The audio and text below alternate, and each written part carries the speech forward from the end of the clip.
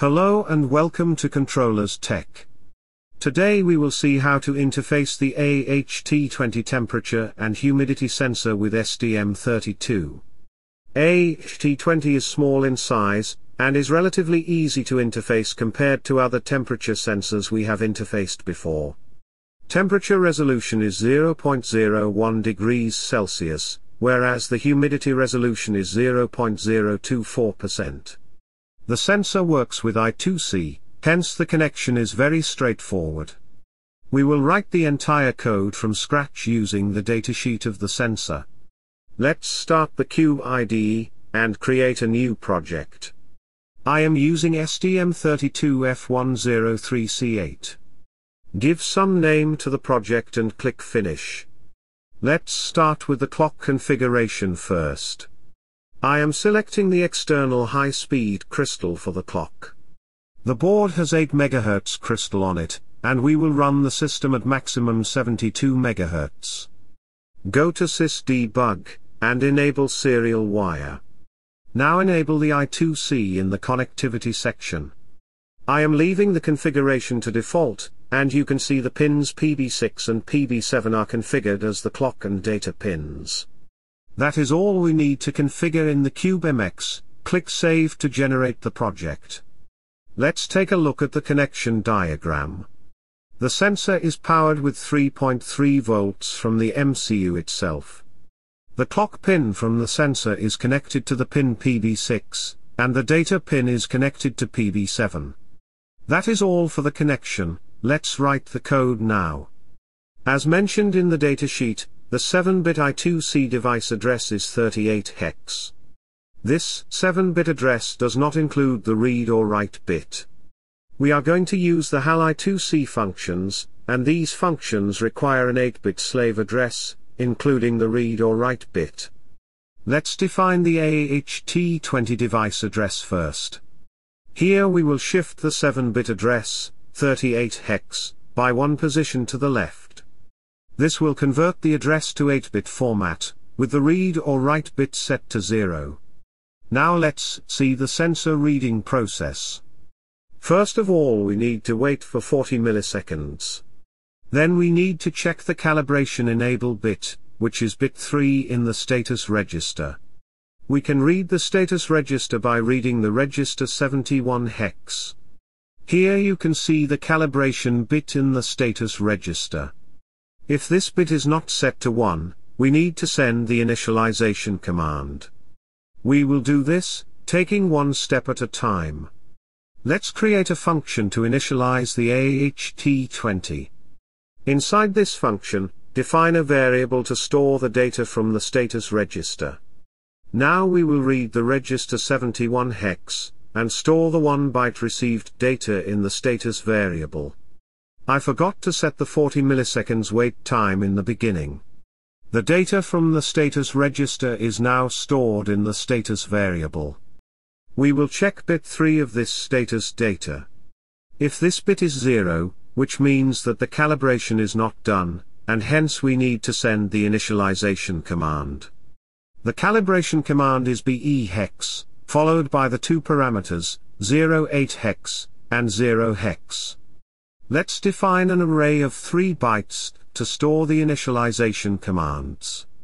Here we will store the main command, followed by the two parameters. Now call the function I2C master transmit to transmit these 3 bytes to the slave device. After sending the initialization sequence, wait for 10 milliseconds. This completes the device initialization, now we will measure the data. The command AC hex triggers the measurement. This command also has two parameters, 33 hex, and 0 hex. After triggering the measurement, we need to wait for 80 milliseconds for the measurement to complete. Let's create another function to measure the data. Here we will create an array to store the trigger commands. Transmit these commands to the slave device, and wait for 80 milliseconds for the measurement to complete. We have covered this much part, let's proceed with the next section. Next we need to again read the status register. The bit 7 of this register is set to 1 if the device is busy in measurement, otherwise this bit is reset to 0. Then we can read the data bytes. We need to read 7 bytes in total, that includes one state byte, 2 bytes of humidity data, 1 byte of combined humidity and temperature data, 2 bytes of temperature data, and 1 byte of CRC data.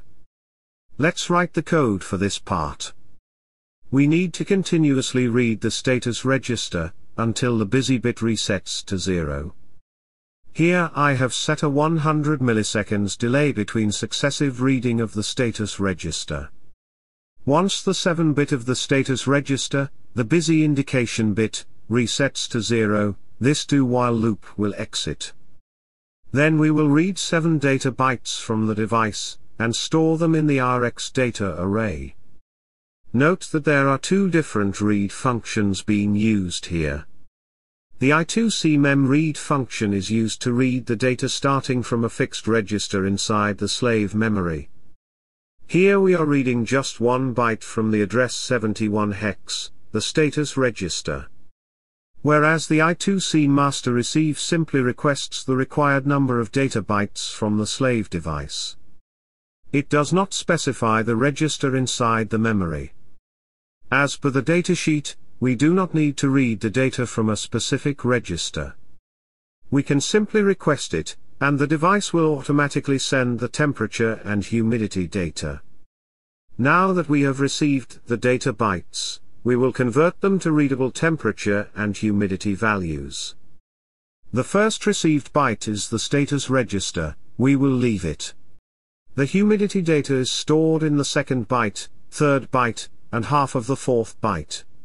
The higher four bits of this combined data bytes store the humidity information, while the lower 4 bits store the temperature information. Therefore we have a total of 20 bytes for each humidity and temperature. First we will combine these 20 bytes. Let's define a 32-bit variable to store the 20 bytes humidity data. Here I am combining the second, third, and fourth bytes to make a 24-bit humidity data. These 24 bits also consist of 4 bits of temperature data. So we will shift the humidity data by 4 places to the right to remove the lower 4 bits of the combined data. Now we have 20 bits of the humidity data. Here is the formula to convert the data into the relative humidity. Let's define the float variables to store the temperature and humidity values. Include the math header file, so that we can use the power function. Now write the formula as per the datasheet, to convert the humidity data to the relative humidity value. The calculated value will be stored in the humidity variable. Next we will combine the fourth, fifth, and sixth bytes of the RX data array to make a 24-bit temperature data. The 24-bit data consist of four humidity bits too but they are stored at the most significant positions in the temperature data. We need to extract the first 20 bits of the temperature data, so we will perform an AND operation to do so. Here is another formula to calculate the temperature in degrees Celsius. Let's use this formula to calculate the temperature. The calculated temperature will be stored in the temperature variable. That is it, now initialize the AHT20 sensor inside the main function. And inside the while loop, we will measure the data every 2 seconds. Let's build the project, and debug it. Add the variables in the live expression. Run the debugger now. The humidity data seems accurate, but the temperature is definitely wrong. Actually the temperature formula is still incorrect. It should have been 200 here, as mentioned in the datasheet. Alright let's build and debug the project again. The temperature and humidity values seem accurate now. I am holding the sensor with my finger, and you can see the rise in temperature and humidity as well. So everything works as expected. The sensor is responding fine, and the temperature and humidity values are also accurate. We wrote a very small code compared to other similar sensors, and still got an accurate output from the sensor. This is it for the video. I hope everything was explained clearly. You can download the project from the link in the description. Leave comments in case of any doubt. Keep watching, and have a nice day ahead.